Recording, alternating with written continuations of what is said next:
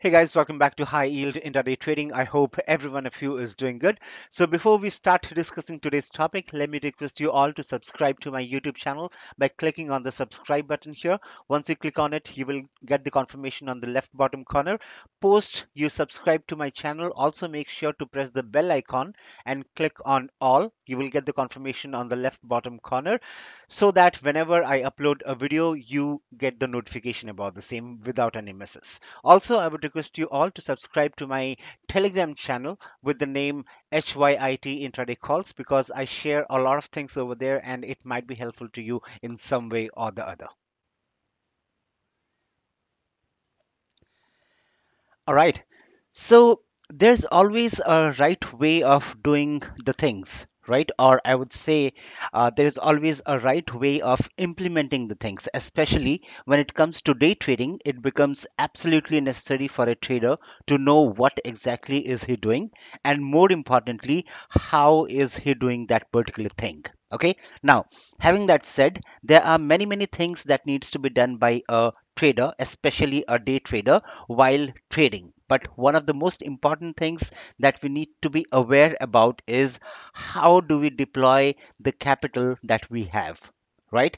In other words what i mean to say is if a trader has a capital of let's say 1 lakh rupees for example and if he wants to uh, take up a trade on some of the stocks then how should he go for it okay so in this video guys we are going to talk about this very topic and i would hope that it will surely be helpful for many of you. And please be noted that whatever pointers i'm going to give here will hold good for the equity cash segment only okay because in this particular segment we don't deal with lots. The way we deal with lots in the futures segment in the equity cash segment we don't trade in lots. Okay if we want or i would say if somebody wants he can even buy or buy or sell just one share. Okay there is no necessity to trade in lots. Okay so First thing first, if you are into trading, you should not be concerned about having a huge or a big capital.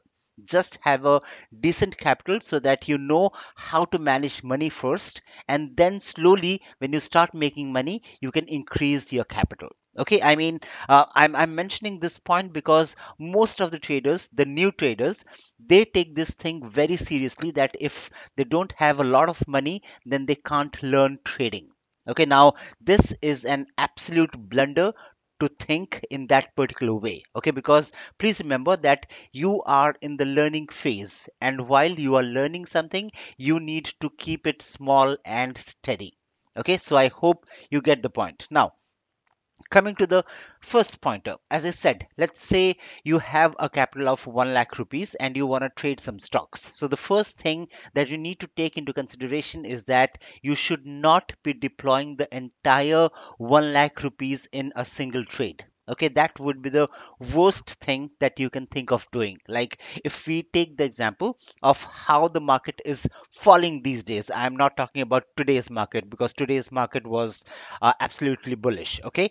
Uh, in general i'm speaking in general wherein the market was falling since the last many days okay? Most of the new traders would be in a mood to earn the max. And how can they earn more money? They can earn more only by deploying more capital okay? So what they will do uh, what they will do is they will use the entire capital in a single trade. Now the question is who can guarantee that the stock which that particular guy is trading will move according to his expectation? Right? If he's thinking that this stock will go up who will guarantee that that stock will go up for the day? Or if he's expecting that this particular stock will fall then who will guarantee that that stock will surely fall for that particular day? Nobody right? So if he puts all his capital in a single trade and if the trade goes wrong then the loss would be more. Okay now again if you face a loss with a big capital with a uh, without following the position sizing and stuff like that the only thing that you will get out of the market is loss okay? And that will again uh, have reverse effects in many ways okay? Like you will get demotivated you will get into revenge trading and all those stuffs will happen. So it's always better to get away from all those things okay? To stay away from all those negativities okay? So it becomes really important to divide your capital and deploy them in different trades. Okay so if you have 1 lakh rupees then divide it into 3 to 4 parts and then take up 3 to 4 different trades. Now by doing this you are increasing your chances of winning and decreasing your chances of getting badly hit okay also as we all know that trading is a game of probabilities so by taking up multiple trades you are making sure that if you are facing a loss in one trade then the other trade can nullify that particular loss that you are having in the first trade okay and by uh, moving in your uh, i mean by moving in your anticipated direction okay in this and this is exactly how you should be trading. Divide your capital and follow position sizing in every trade that you take. Okay, now if you want to have uh, more idea on position sizing, if you want to know what exactly is position sizing and how important it is to be followed uh, when you are trading, uh, I already ha- have made a video in regards to position sizing. Please feel free to search that video in my YouTube channel and you can go through it to know what exactly is position uh, position sizing and how exactly do you make use of it while trading. Okay now coming to the second point let's say that you have deployed all your capital in a single trade and that trade is going against you. But at the same time you see another trade that matches your technicals and has a strong chance of moving in your anticipated direction. So in such a scenario or in such cases you are stuck because your entire capital is already engaged in the first trade itself right? But at the other hand if you would have divided your capital and if you would have some capital as a buffer then in such a situation you can easily deploy the leftover capital in the second trade that has more chances of winning. Okay? So this is called manipulation of trades. You need to learn how to manipulate your trades using the using the capital that you have. Okay? I hope you are getting the point that i want to convey here. Okay?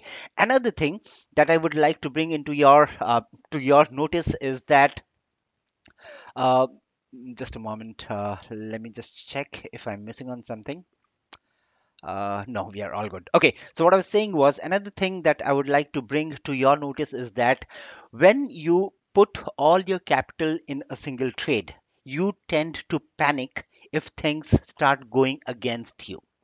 If you have traded ever, I'm sure you would have surely faced that panic moment. Okay, so why to unnecessarily take that particular tension?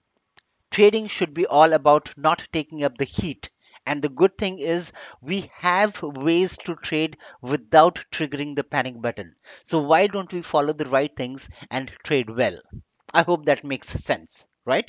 So, these are some of the points that I want to share so that you can follow them and trade seamlessly.